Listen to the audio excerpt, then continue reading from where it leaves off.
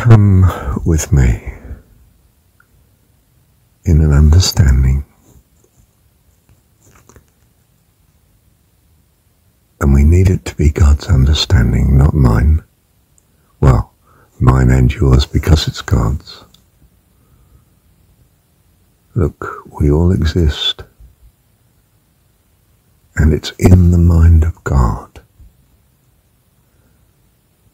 That is our true existence.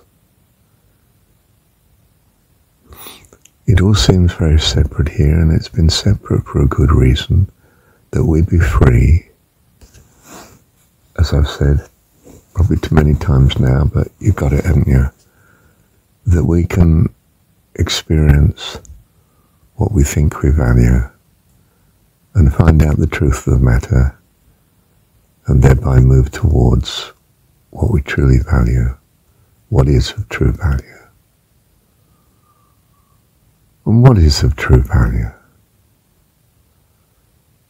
To have the unlimited wonderfulness of God who loves us and cares. Cares for us all, all life. Now, we don't, in most of our existence here, have that persuasion, that conviction, that reality is not real to us. We live in a, an apparent reality of separateness and the absence of God for a very good reason. That we come to realize with all our hearts that His presence and reality is everything. Everything to us in our visualized separateness. We quite simply long for Him. But everything to us in, uh, in His reality, which is to know who we are and what we are and to know in our very being then that what he knows, that our existence is because of his thoughts. We are thought, or we are manifesting as thought, but we are part of his being integral part of his being. We only exist because he holds and values us, values us in his mind. It's not that if he didn't, we would be alone and wandering in some existence. We would have no existence. Our true existence is being in his thoughts. Well, that's the best way of understanding it and appreciating it, given our present um, situation of being. How do we gain that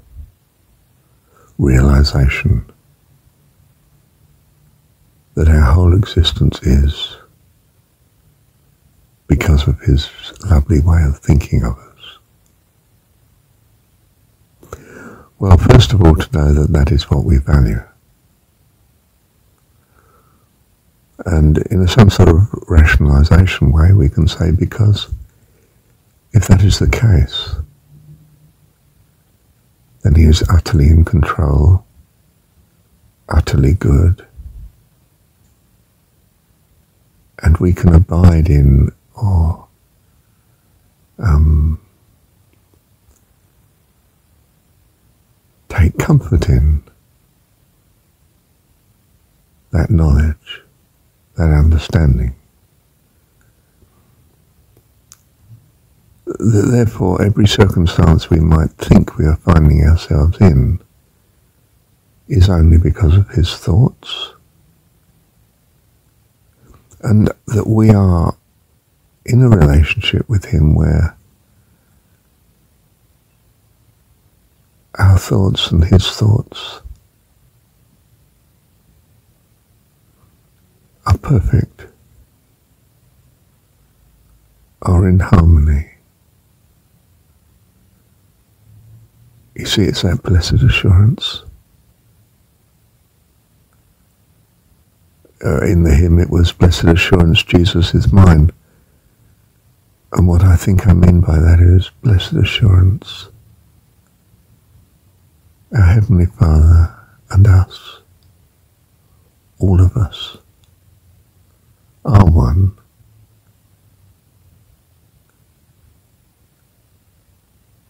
And that we can be in full realization of that oneness. It might seem rather strange, but it occurs to me that something so cold in a way, like the practice of triangular breathing, as I call it, Kriya Yoga, um, well, my understanding of it, um, amazingly achieves just that. It calms your whole being. That you become aware of a oneness. And it's sort of something that comes on you. Um, the true comfort of a friend is not somehow in the thoughts you have of that person, but in the effect of their being and your being being one.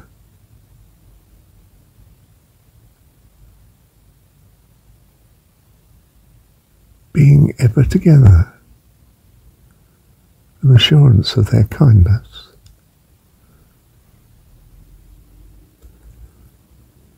Uh, coming back to religion, it's, it's that simple thing. We need the assurance of His ever present kindness. Now, I've said looking on whatsoever is good and lovely moves us towards that because we become aware of the if you like, the intensity or the peaks of such, the lovely coincidences in the day, the lovely things that he brings together that are so beneficial to us. The constant awareness of these things builds that assurance. Perhaps it seems very slow at times, you know, I mean, I just laid here first on waking, and I thought, oh no, before I do the the, the, the breathing, the triangular breathing, I'll I'll um I'll just list His goodness to me in, in yesterday. I'll list uh, I don't know if I thought ten things, and I got well over twenty. And then I thought, oh, I've, I've got them all, so to speak knowing I hadn't sort of thing, but you know.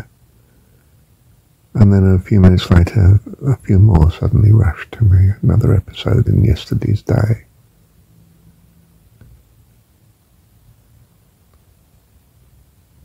It's um.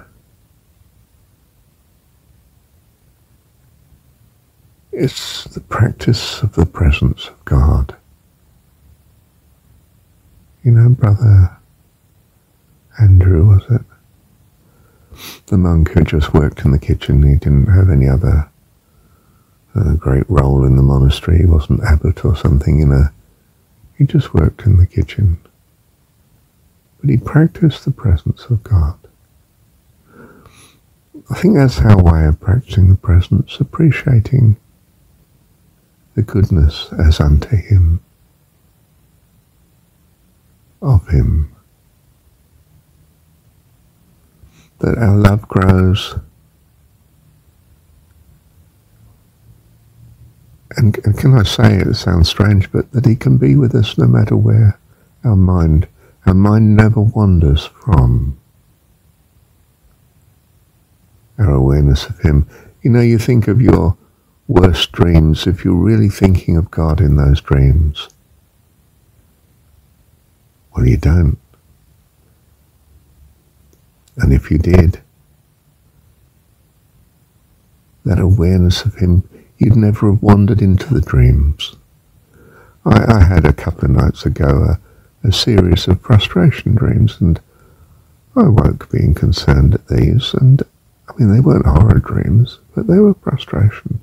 And I thought, yes, it's because you'd had frustration in putting those seven miracles of John in the recordings together. You, you had a, a difficult. You, you, at some point, you lost your way, Marshall, and things were not in the right order, and I couldn't recognize easily what I'd done. I didn't have a, an overview that was holding it all together. And I, I realized that's why I had the dreams. And if I'd have had the assurance of God with me that I was, it was all coming together right, the frustration wouldn't have been there, the concern, if you like, the stress, and it wouldn't have manifested in the dreams. That's my understanding of it.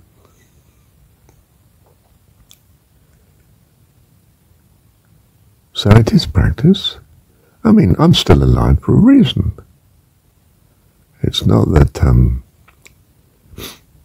oh, everything's done, Marshall, and you're, you know, you're perfectly ready for the kingdom of heaven. I mean, well, I'm in it now, but I mean that you're perfectly ready to ascend to the heavenly host forever, never to return to this sort of world of uncertainty, physical world, matter and so on. No, you're here because um, you're not there yet, Marshall. Not, not, not. You know, you're not some avatar that's graciously staying for the benefit of all. You're here because you need it, mate. Yeah. Ah. Thank you, Dad.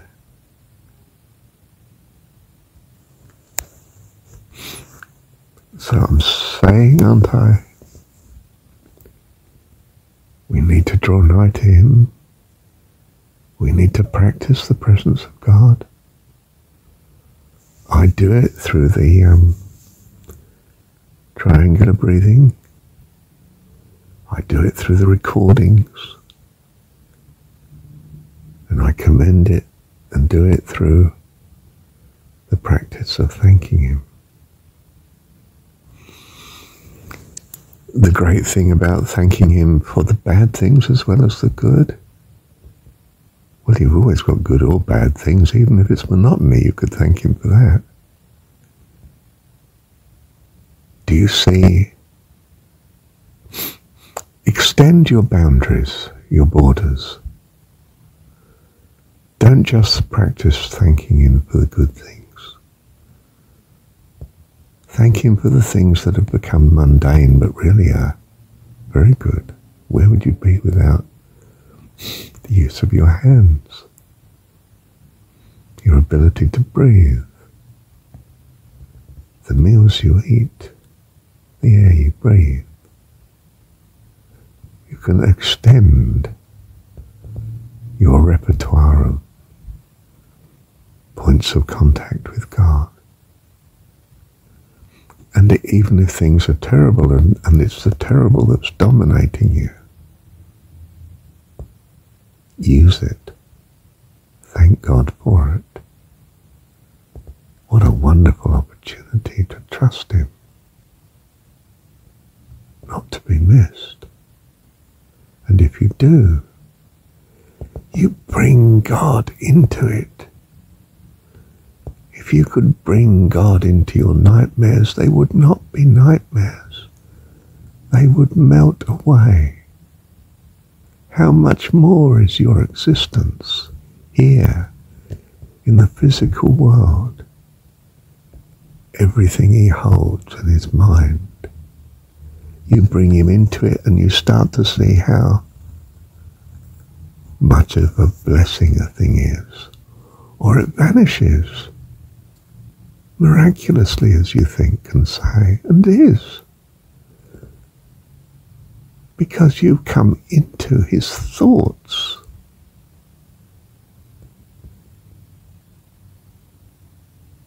And everything's changed accordingly. You have this sovereignty. I don't mean as some masterful uh, being, I mean as a child of a parent. You cry, the parent comes because you are their child and they are your parent. And you know it. That's why you cry. There's no point in crying otherwise. There's nobody to hear. There's no, no thought of someone there to hear. You would cry out. You cry out thanks or concern. But even if it's because of terrible, fearful concern, it's because you brought him into it. I will cry to God, and perhaps God will answer me. Do you see your mind is now on God? You have the solution in the very situation that's frightening you. Because it drives you to God. And God awareness in the situation changes everything. Your awareness of God is comfort. not the fearful concern of the dream. You've changed the dream. You've changed what your mind is now making. You've become sovereign through your trust in the possibility of God, in your being one that values God, the rescuer. You value him at your time of crisis. How wonderful. You are blessed. You are rescued. Thank you, Dad. Occurs to me that we practice uh, the presence of God in different ways. Brother Andrew, it was um, in the kitchen in what he was doing always. Not quite sure how he was thinking of it. He could read the book. Um,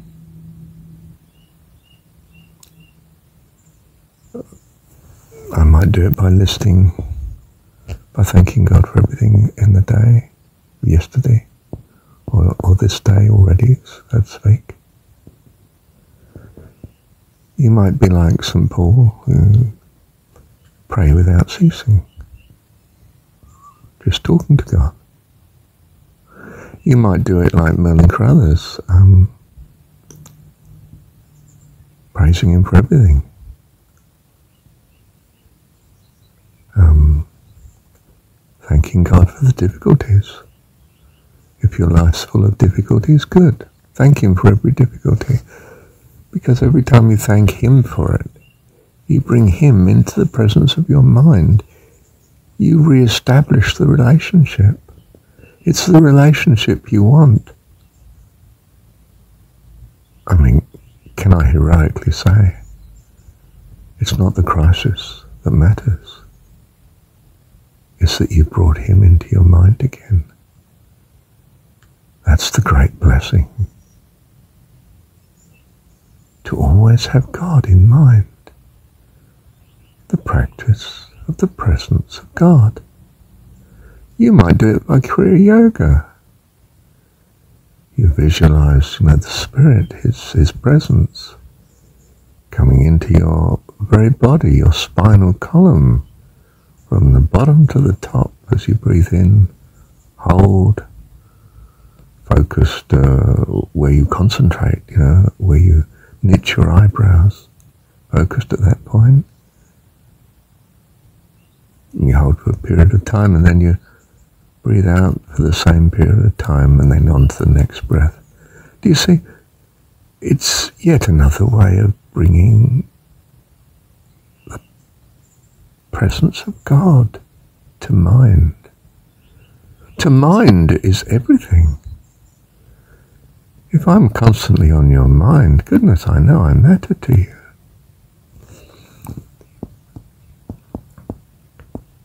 That you're thinking of me, that you're focusing on me and I'm important to you. You have a link with God, you see, when you do it. There's no need for you to sit there pining. Think of God and you're not pining, you're not alone. You've brought your understanding of Him into the dream whether that dream is a dream or dream is reality. You brought his presence into it. That changes everything. to have an almighty God that loves you in any situation is going to make it vanish like the morning mist in the warmth of the morning sun. I see your face in every sunrise. The colours of the morning are inside your eyes. The world awakens in the light of your day. I look up to the sky and say, You're beautiful. And then the song goes, Oh, oh, oh, oh. oh. Um, not because I sing wonderfully, but that you might know the tune. I'm going to sing it to you now. Um, I can't do it very loudly because I'm in a house. I don't want to communicate with other people in the house at the minute. Where are we? Um, I see your face in every sunrise. The colours of the morning are inside your eyes. The world awakens in the light of your day. I look up to the sky and say, you're beautiful. Oh, oh, oh, oh, oh. Oh, oh, oh, oh. Oh, oh, oh, oh. Oh, oh, You're beautiful. Uh, sing endlessly and uh, you'll get the message. Um, and uh, if you really want to get the tune properly, uh, you could look it up on YouTube, couldn't you? I see your face in every sunrise. Lyrics. That's all you need to say on Google, isn't it? Just say, I see your face in every sunrise. Lyrics. And it just bangs up on the screen. Do you see that's what you do too when you you communicate with God? Every time you think of him, it's a case of I see your face in this situation. And the colours of the morning, that means the loveliness of you floods the situation, be it the most abominable, frightening curse. It's transformed because it's all just thought. It's just that you were wandering in a wilderness, in a jungle, in a dangerous place, the place of good and evil. But you brought your mind back to God. So now it's with God, not the jungle at all.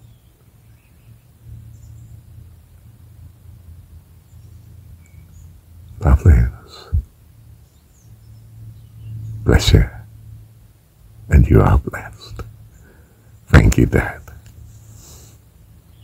Should I say that um, when I say to know He's everything to us, I mean, you know, it's not the beautiful woman that you need. It's not the wonderful man that you need.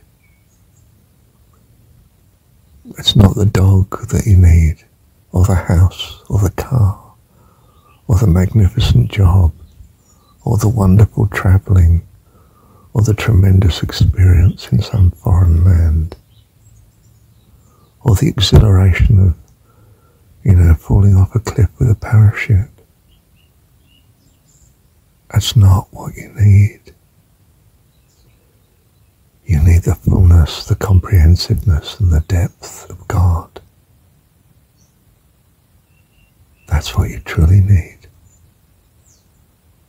The being one with this fantastic being, all powerful, all loving, all blessing.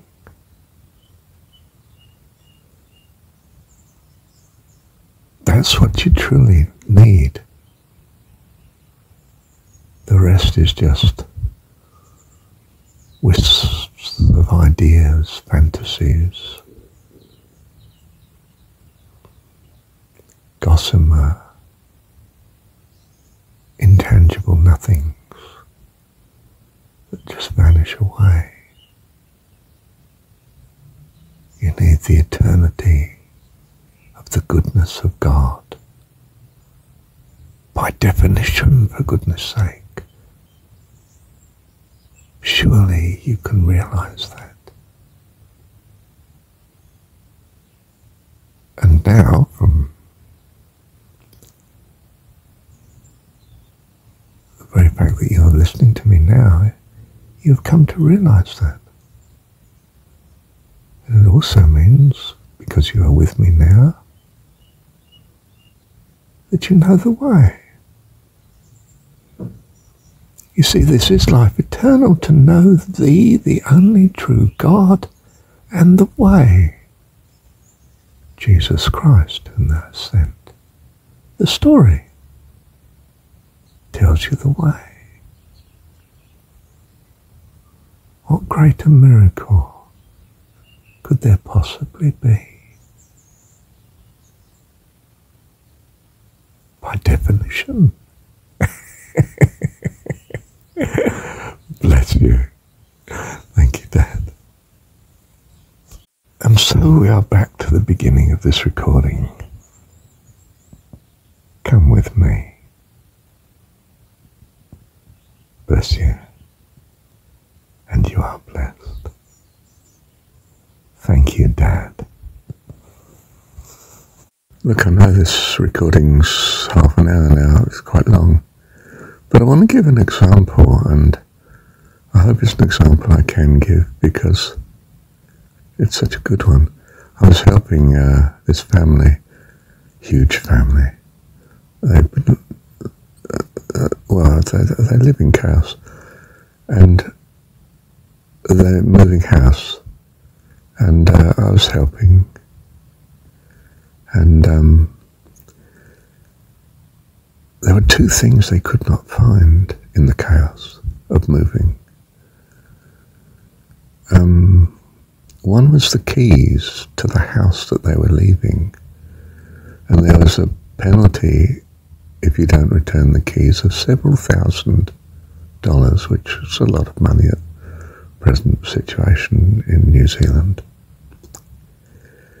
And um, the other was a um, like a small purse, a small handbag or a large purse, a wallet, leather apparently, and of dark blue, which had some words written on it, S something or other, and um, they held the necessary passports for the lady and one of the daughters to be travelling with the other four children the following day. which would have been today. And without, of course, that passport, they could not be travelling with them. So both these things were very important to find, and there was no way, with all the best will in the world, that the couple and the helpers, if not the children, but he just couldn't locate it. Couldn't locate the keys, couldn't locate the um, the, the purse, the wallet. And because it didn't help him that we were not the couple, didn't know what the actual thing really looked like, only from their description, which was not accurate. not really. well, it became so important that um, really all of us had stopped doing the cleaning up and the clearing and because we got obsessed with trying to find these two items, the keys and the um, wallet with the passports in. Point I, I said to um, the head of the house, my friend, I said, um, you sure it's not in a car? I don't mean I knew I had some great enlightenment here. I just, you know, sure they're not in a car, especially the wallet, not the keys. We didn't think the keys would be in the car. We were convinced the keys were questionably in the house, but the rest of family was convinced the wallet was in the house too. At some point, I came to my senses. um, I was sitting and having a break from all the searching now, and um, I thought, why aren't you thanking God for this, Marshall? Oh, oh yes, okay.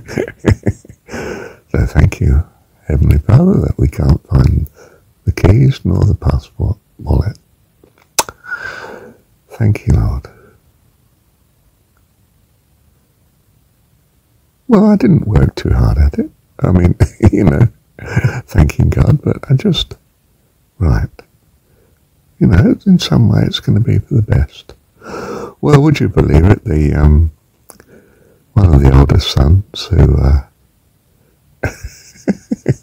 you can't always communicate clearly with him. His dad says to him, you know, where do you, where do you think it is? Oh yeah, it's over here on the. Would you believe it? At some earlier point, and, and I expect all of us had searched the top of that surface, which was littered with stuff, of course, in the kitchen, and it was right in the corner with the keys. Wow, thank you, Lord. What about the wallet? Well, this kept on and on. And then at one point, my friend, head of the house, was on the phone to someone and I didn't know who. And they said to him, Oh, yes, she left the wallet in the car. We've got it. I thought, this is good news. No, it wasn't. well, that, from that point of view, it wasn't. Where they've got it was where they live, which was five hours' drive in the wrong direction from Auckland Airport, from Hamilton. It was way down in, oh, somewhere near Napier. I, I don't know. I can't remember the name of the place. Yeah. so she could not travel on the morrow, which is today. And uh, she, she, my friend's wife, wasn't in the house at this point. She was in the house they're moving into. And uh, I'm understand she was upset, crying. But my friend, ah, good chap, he's concerned, of course, his wife's crying, but not too concerned. He has the confidence of God. Well, he says, perhaps it's for the best. It's cost a bit, but um, in cash because they'd spent money updating the passports and everything else, you know. But, um, it wasn't a good idea to book a holiday in Australia the day following the final date of having supposedly to have moved everything. So he was ah, in good harmony and understanding, wasn't he? And he was happy in himself. And I was too, because we both felt this to be the case. Thank you, Dad. Do you see, there's a practice here that I have been involved in, and he not in the same way, of course, but but in a, in an earnest way also. You see, I was formally thanking God for the difficulty of not finding these things. We found the th- essential, the keys, which meant a difference of a few thousand to the family. And we didn't find the passport, which meant she couldn't travel today, which meant she will continue to help her hubby clear the house, my friend, in the coming week, and I can help them, of course. Isn't that just lovely? Do you see the practice? Whatever your practice is, mine's thanking God. My friend's practice is to be thinking, well, perhaps it wouldn't be too bad if she can't travel tomorrow. This was before we even knew where the wallet was. He was thinking, of course, well, I'd like her company, and perhaps it wasn't a good idea to book a holiday directly so soon after moving. Just concentrate on the moving, that's what God's given us. Isn't that lovely? So we have a practice. Yours might be to worship, to sing. Perhaps you sing round the house, or in the garden, or wherever. Perhaps it's to walk by the river, or by the Essex Marsh as I used to do, out on the Naze where I lived, in Essex, England. Or it might have been whatever your practice is. Curl up in the library somewhere reading scripture or, or something uplifting. Mine in the very beginning was, would you believe it, to read Plato in the reference library in Southend-on-Sea. Don't think the building's there now, or it's used for something else perhaps. And uh, I'd sit up there in this old Dickensian type reference library, reading for hours. Go out into the street and it was like I was in a strange world, not the one I'd been reading in. I didn't know that I knew God then. But his presence was with me, wasn't it? I was being transformed by his grace and his goodness. I was a young man, full of ideas, full of philosophy. I'd found something ancient and interesting. Isn't it astonishing? I now find that the ancient writings were the very foundation on which this religion that I've gone through and out the other end of was based on and why. How fantastic. My life's just been a long revelation. I mean, to me, I don't know how much of a revelation I may have been to others, but a blessing at times, of course, as was my wanton purpose and joy.